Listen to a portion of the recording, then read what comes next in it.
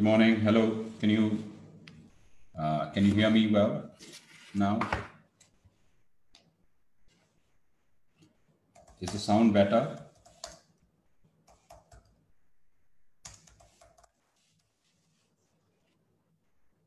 Hello. Sound check. Sound check. Hello. Hello.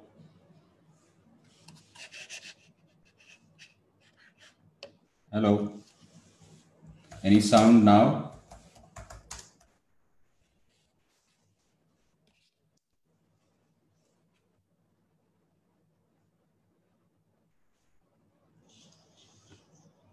Hello. Hello. Sound check. Sound check.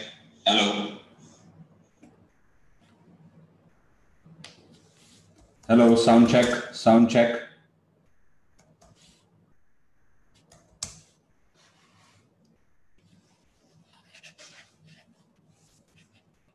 Excellent.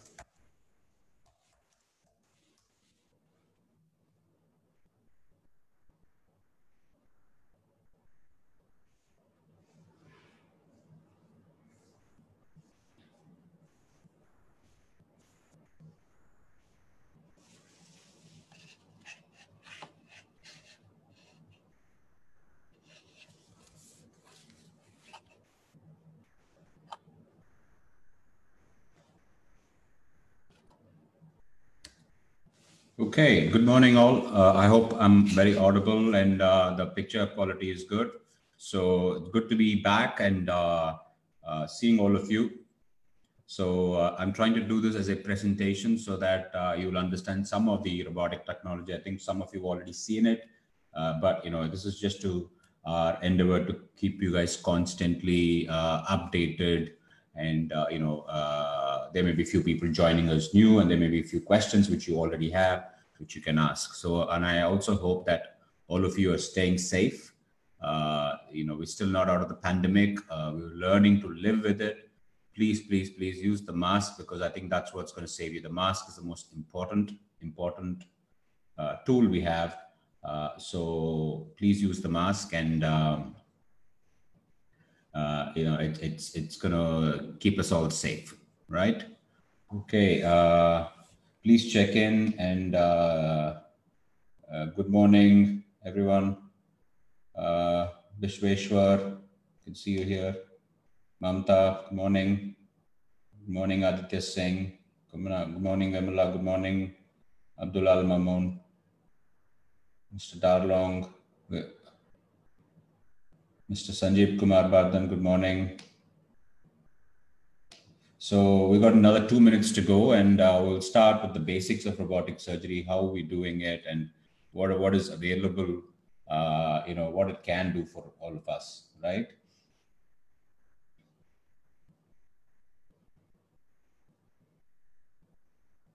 Excellent. Any questions? Please uh, uh keep putting in the chat box. Uh, hello, Palabon. Good morning. Good morning. Okay, so another two minutes to go. Uh, so Chennai is doing reasonably okay, but I think because of all the uh, uh, transports open and people are traveling, there are, we are seeing some more cases. But I think it's probably a milder form or strain of the virus. But uh, we still have to be safe. I mean, I think hand washing uh, sanitizing and masks are going to be the way of life for the next uh, six months at least. So please, uh, uh please use the masks. That's the that's the most effective vaccine we have at this point in time. Okay. Okay, so uh, we're just about to start. Another minute to go. Uh, please uh, post in your questions. Uh, I know some of you have experienced robotic surgery. You know, it's it's it's a very fascinating technology, and we'll go through that. Okay. Right.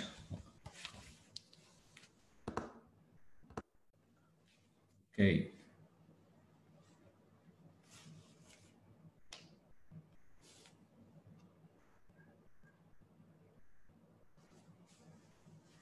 Good morning, Dipen. Good morning. Good morning. Okay, are we? Yeah, 11 o'clock. Okay, let's start. So robotic surgery. So, uh, so if you look at this picture in front of you, uh, it's going to show three people, three surgeons.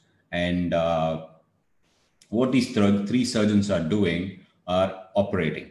Now, if you look at the left extreme one, the surgeon is standing. That is what he would normally do. The patient is on the table, and and uh, he is standing next to the patient, and he is uh, made a cut, making a cut on the abdomen and doing surgery. And he will have other people around him, and that's how open surgery has been done for hundreds of years, right? And it's still performed uh, for various things. But you have to understand that to look inside, you have to have a make a cut a big cut. So that's where some of the problems arise with open surgery, pain, more pain, uh, more tissue handling because you have to put your hands inside to operate, and you can't see deep the deep structures. I, you know, uh, so that's what the problem with open surgery: more pain, uh, slow recovery, uh, wound infections because you make a big cut.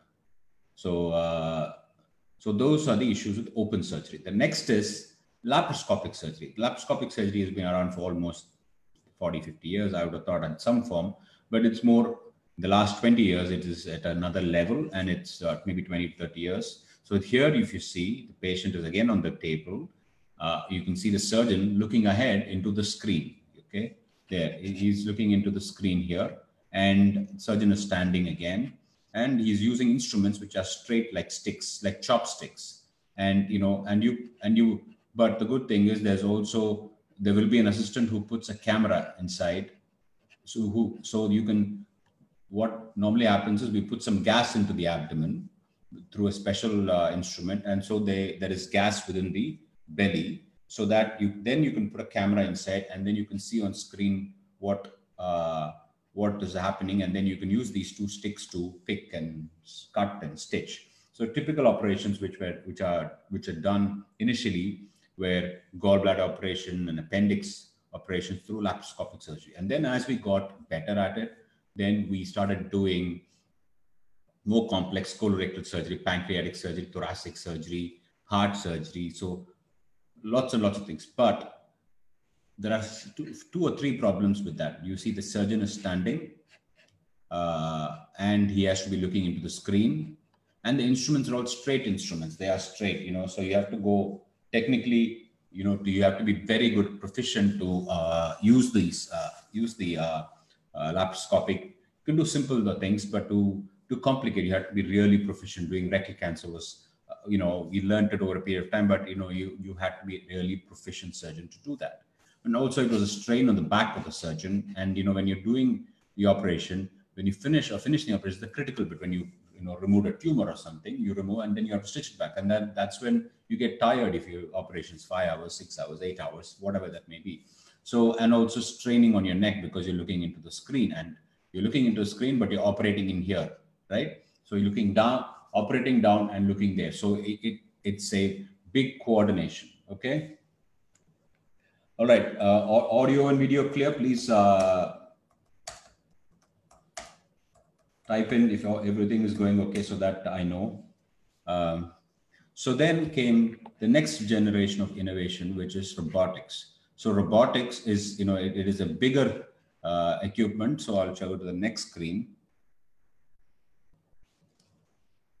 Uh, so this is this is the robotic system. So it is not. It is a it is a master and slave system as we call. And I and uh, and if you look, there is a console. Okay, there is a console in which the surgeon will be sat. There is a robot itself, which has got these one, two, three, four arms, which which is uh, you know stitched up to this boom here, and then it has got uh, ports through which the instruments go in, and then that goes into the patient. So the surgeon sat in the robot has got these joysticks, joysticks which uh, joysticks which will I will show you those joysticks in a minute, which he uses, and the movements on the uh, uh, robotic instruments will move. And this is a vision cart where all the uh, other technology, energy, and the screen is there, so they can so the assisting team can see the surgeon itself. You can see here in this picture, the surgeon itself is sat down comfortably. There is no strain on the back, and you can see his elbows are supported on this platform. His head is looking into this box, which is a uh, which which is called the console.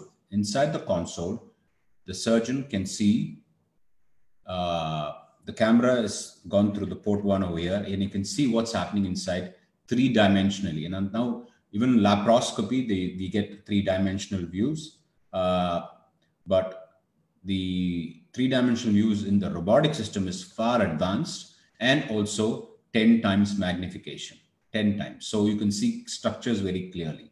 All right. That's very important. So then you can have assistants around the table to help with, uh, with, the, uh, with the patient if required. But more and more, the robot is there. Once surgeon moves these joysticks there, then instruments move. So, and also particularly in this pandemic where there is cross infection, you're worried about sending, you know, so we're trying to keep everybody out of theater. So there's only one surgeon, one nurse to help you, and the others maybe one assistant. Otherwise, all the other people are out, and the robot can be there to help you with the operation. So the risk of transmission of viruses, bacteria, whatever, has been less, and that is already in looking at our data, we've seen that uh, that uh, the wound infection rates are already less even before this pandemic started. So I think that's a very very good thing to have. All right. So that's how a robot. So the, there is a console where the surgeon is sat. There is a robot which has got four arms and through which the instruments are uh, loaded onto the patient. There are there are four cuts, small cuts, which are about one one less than one centimeter through which the ports go in and the instruments go in through that. Okay. Now the boom is where uh, these this entire structure uh, or the arms are all attached to. Okay, so this is how a robot is set up. Now, as I told you, if you look here, this is Surgeon Sato and you can see the joysticks. So the joysticks, uh, every movement you do, every fine movement you do, your instruments will move the same. Okay. So compared to open surgery where you put your entire hand inside and try to move, here you're using the tip of the instruments. You can see this is what looking inside the vision, uh, sorry, console will be like. And if you look inside, these instruments are doing, and you know every movement here, uh, you know using your joystick, will be replicated there. So it is a very stable platform. The surgeon is sat, it's very good. So I could do three operations in a day if I want to. I would still feel confident and comfortable. And uh, and the surgeons again sat comfortably. Okay. giving a 10 times magnification and three-dimensional view. So talking about the robotic technology, the robotic instruments are miniaturized. You see how small they are, right? And they can do all the movements as you do in your wrist, and they call wristed, wristed joints. These instruments have wristed joints. So that's why it can go to complex maneuvers deep in the pelvis or a complex surgery. And using the joysticks will help you do that. So, and also it is, it gives you so much precision that the tissue damage is very less and people do extremely uh, well post surgery. Okay. So again, just to show you another picture that how well these articulated. So engineers in the group will know that, you know, technology like this is, is amazing. And, you know, to, to make it work, uh, and now it's the fourth generation of robot we have here. And I'll show you a video of the robot works in a minute. And you can see the tip of the instrument, which is what does this surgery or dissection, you can see as, as big as just a grain of rice. So it is so small, so miniaturized. So there's less tissue damage. So I think it's very, very important that uh, you know people understand this technology and you know use the benefits of it. So I'm going to play a video about the Da Vinci.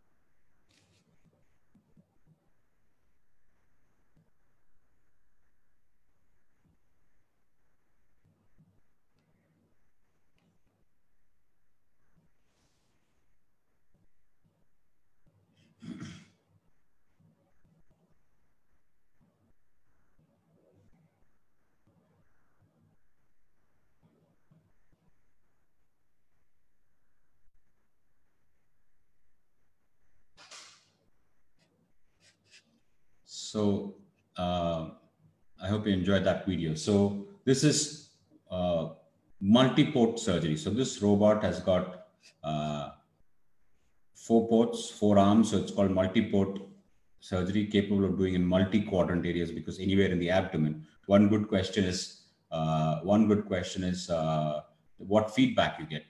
So you don't get tactile feedback, but that has been a, if you look at surgeons and uh, talk to the surgeons, and uh, uh, ask them is, is it, what are the top things you need? They'll be asking for staplers they'll be asking for different things which they want you know some analytical data but feedback tactile feedback is is yeah i know some system uh, companies are working on it but it's not one of the top things which surgeons ask because you get a pretty good feel and as long as you a good surgeon well trained i think it doesn't matter.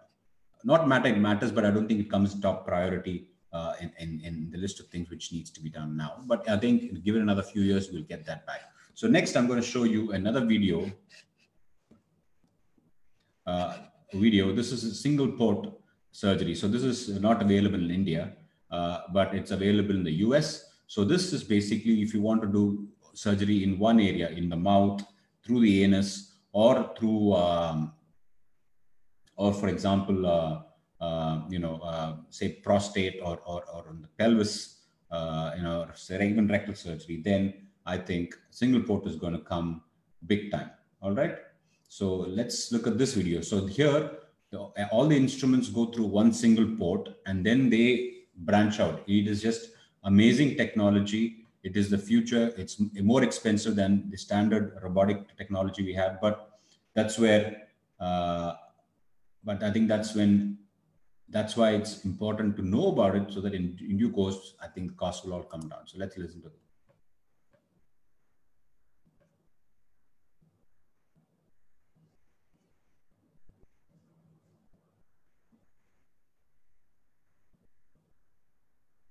As you can see, it's very similar system, but the ports are all into one, one shot and it goes in one port and then it goes into uh,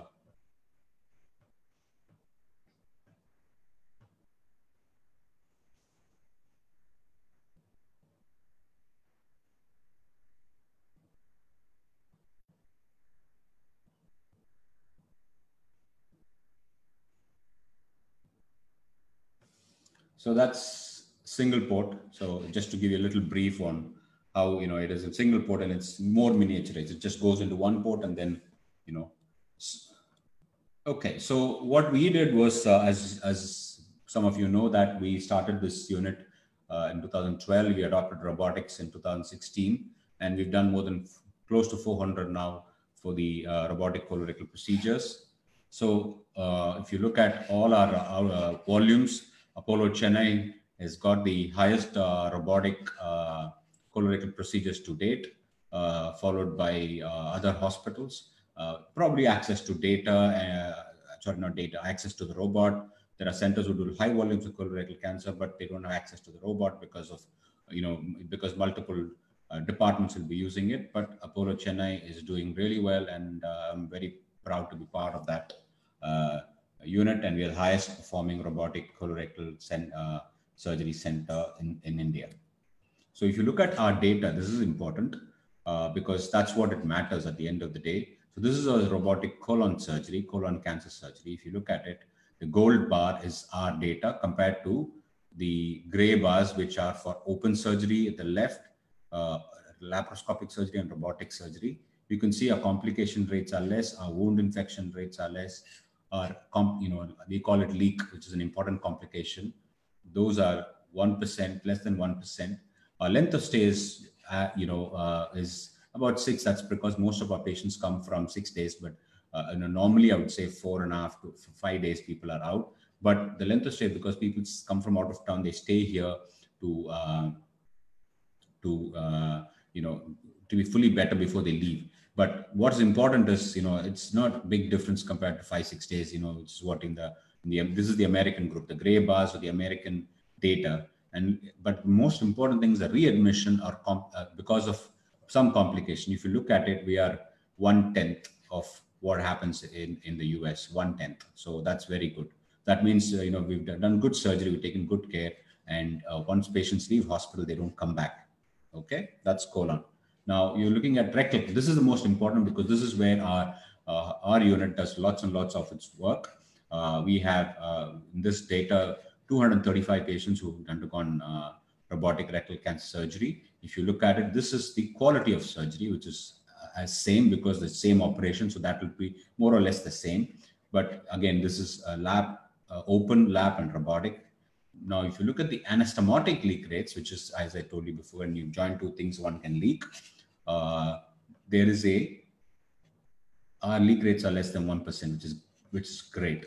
Again, our wound infection rates are less. And again, if you look at the length of stay, the length of stay is again uh, slightly up, but if our readmission rates are low, but that what it means is our patients are being looked after well and they're only sent home and we are happy, although they stay one day extra because they come from out of town but generally it's good surgery compared to rest of you know uh, what's happening around the world. We you know we, we looks like we're doing a good job and you know this this paper is to be published soon. Also because of how cost effective we are this surgery in the us will cost for colon be about 11 and a half thousand. We're doing it for six thousand dollars six thousand dollars. And in and and and uh, for the rectal cancer, it's about $18,000 and we do for $7,000, primarily because we've, we've learned to be cost effective. We don't do wastage. We, we try to do it in two instruments rather than, you know, all the fancy instruments there are in the world.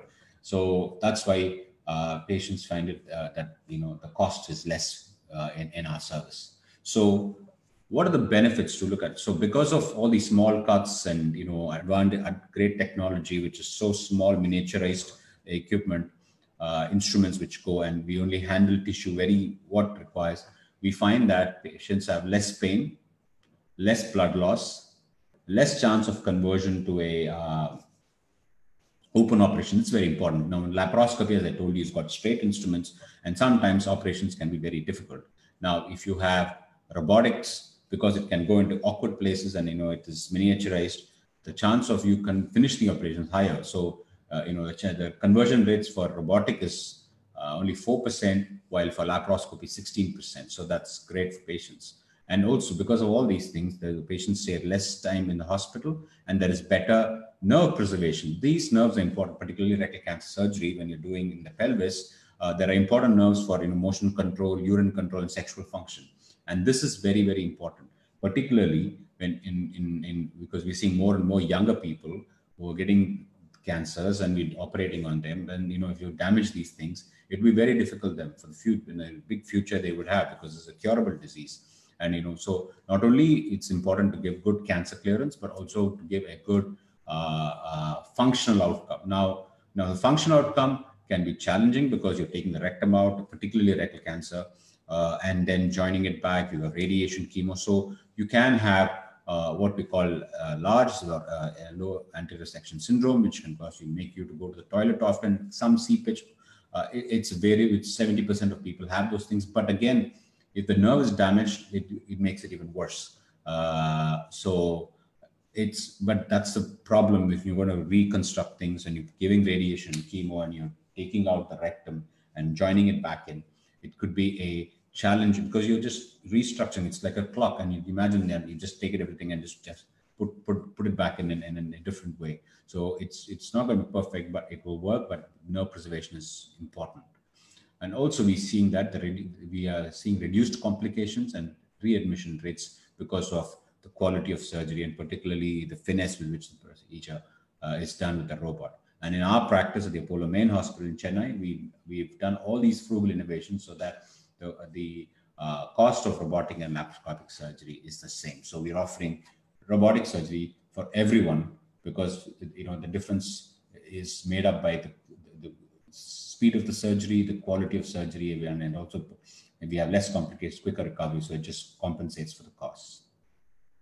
So we have also a big global collaboration with uh, Professor Wexner in the USA and the Cleveland Clinic and Manish Chand uh, in the UK and Professor Lacy in, uh, in, uh, in, in Barcelona. We do a lot of research in these technologies and how, how we can do uh, you know, something more for our patients. So we have say super specialized service at the Apollo main hospitals. We do only colorectal surgery. No other, no other uh, we have a group which does uh, you know other other organs like upper GI, gallbladder hernias, who's my partner. But we we our unit, our subdivision does only colorectal surgery and we do robotic surgery. So what it does is we're doing more and more of it now using higher technology, and that gives great patient outcomes which are equal to the best in the world.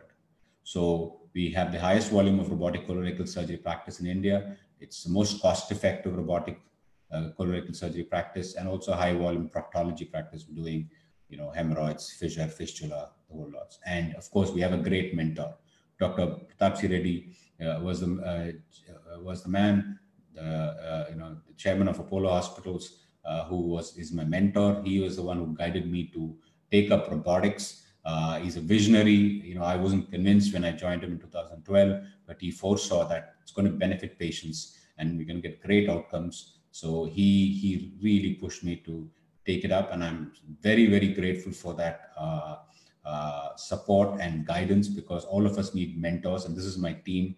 Uh, this is Dr. Aswar, this is Dr. Sudeep, uh, Dr. Kumar, and this is Dr. Subhashni.